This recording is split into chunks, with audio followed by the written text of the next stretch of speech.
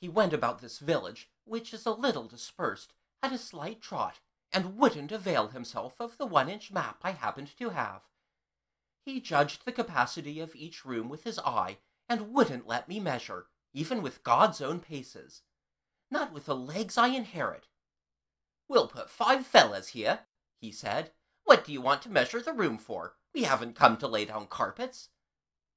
Then, having assigned men by coup d'oeil so as to congest half the village miserably, he found the other half unoccupied, and had to begin all over again.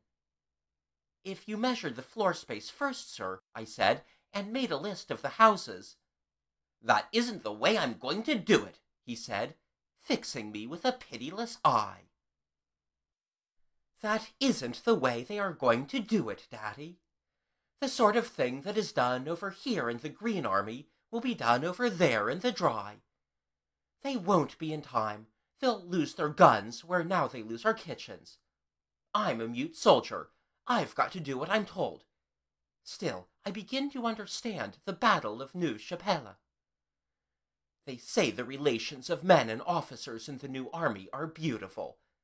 Some day I may learn to love my officer, but not just yet. Not till I've forgotten the operations leading up to the occupation of Cheesingholt. He muffs his real job without a blush, and yet he would rather be shot than do his bootlaces up crisscross. What I say about officers applies only and solely to him, really. How well I understand now the shooting of officers by their men. But, indeed, fatigue and exasperation apart, this shift has been done atrociously.